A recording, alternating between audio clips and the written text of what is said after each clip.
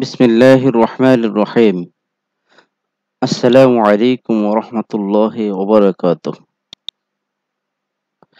শিক্ষার্থীরা, তোমরা ছবিগুলোর দিকে লক্ষ্য করো। প্রথম ছবিতে, উপরের দিকে, প্রথম ছবিতে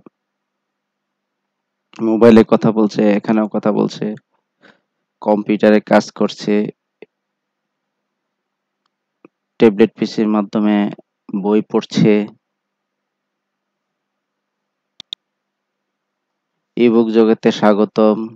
আবার কম্পিউটার চালাচ্ছে কিছু সংখ্যক শিক্ষার্থীরা। ট্যাবলেট পিসির মাধ্যমে বা মোবাইলের মাধ্যমে বই পড়া। এনসিটিভির ওয়েবসাইটে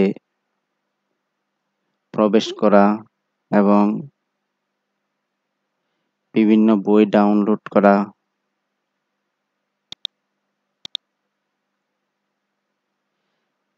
নিচের চিত্রগুলো কিসের? বলতে পারো?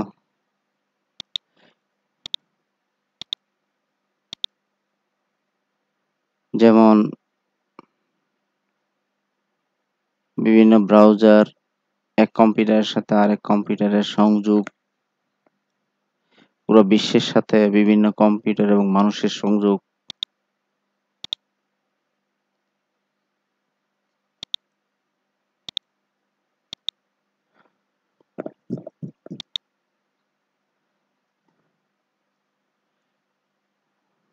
ইন্টারনেট তাহলে তোমরা নিশ্চয়ই বলতে পারবে যে আজকের পাঠ হলো আমার শিক্ষায় ইন্টারনেট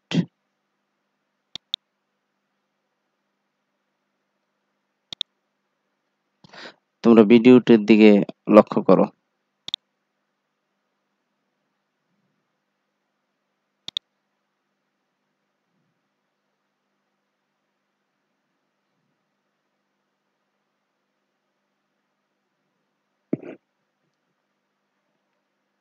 তোমার কি মনে আছে?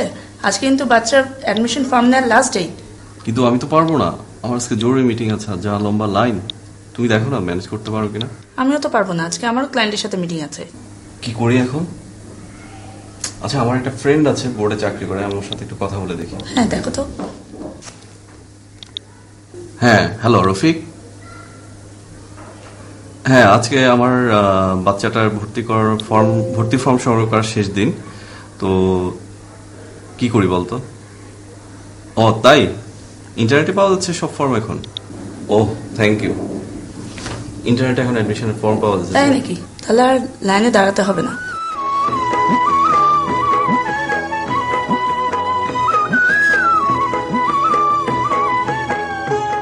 সরকারি মাধ্যমিক বিদ্যালয়ে ভর্তি পরীক্ষার ফরম ঘণ্টার পর ঘণ্টা লাইনে দাঁড়িয়ে সংগ্রহ করার দিন শেষ হয়ে এসেছে।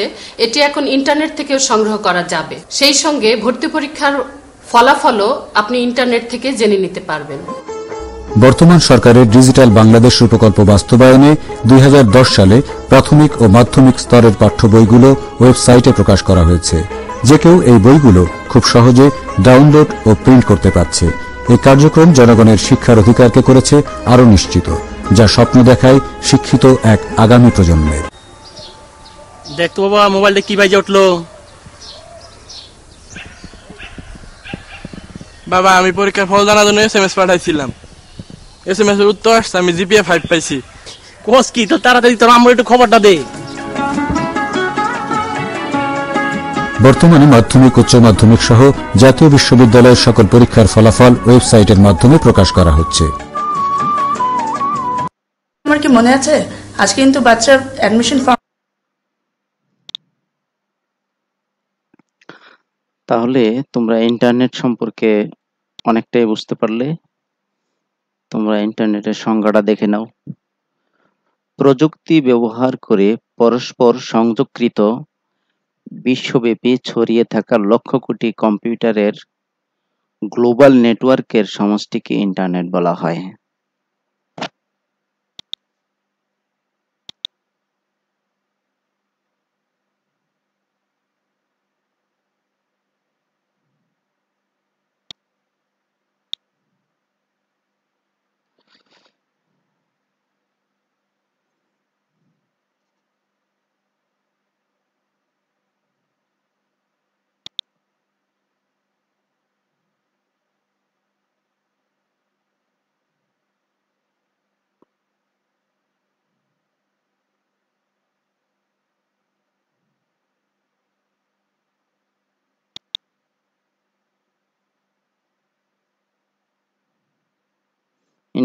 ইন্টারনেট কীভাবে আদান প্রদান হয়, এই জিনিসগুলো একটু খেয়াল করো।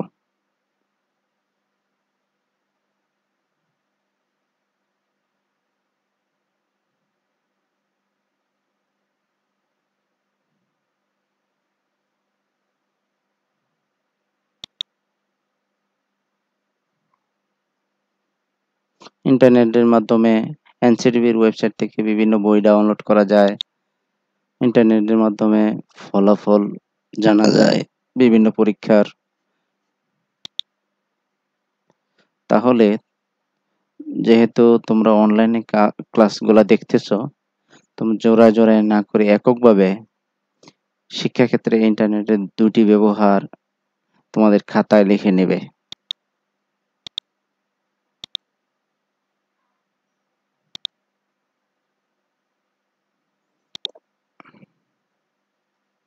এখানে তোমরা দেখো অনলাইনে বিভিন্ন বিদ্যালয়ের সাথে সংযুক্ত হয়ে পাঠদান।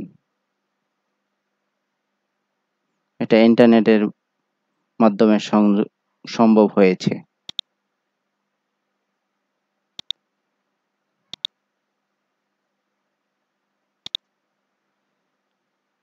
ইন্টারনেট ব্যবহার করে গুগল থেকে কঠিন বিষয়ের সমাধান। দলগত কাজ, এটাও তোমরা ব্যক্তিগতভাবে বাসায় করে নেবে, ইন্টারনেট ব্যবহারের সুবিধাসমূহ তোমাদের খাতায় লিখে নেবে। এই পাঠে তোমাদের অনেকগুলো সুবিধা দেখানো হয়েছে। তোমরা গবেষণা করে আরও কিছু সুবিধা তোমাদের খাতায় লিখে নেবে। এবং পাঠ্য বইয়ের সাহায্য নিয়েও এই কাজগুলো তোমরা করতে পারো। মূল্যায়ন। বর্তমানে তথ্য যোগাযোগ, যোগাযোগের প্রধান উপকরণ কোনটি? নিশ্চয় তোমরা বলবে ইন্টারনেট। ওয়েবসাইটে প্রবেশ করার জন্য অবশ্যই কোনটি প্রয়োজন? তোমরা অবশ্যই বলবে যে ইন্টারনেট সংযোগ। নিচের কোনটি শিক্ষাক্ষেত্রে ইন্টারনেটের ব্যবহার। তোমরা নিশ্চয় বলবে যে ইবুক ডাউনলোড করা।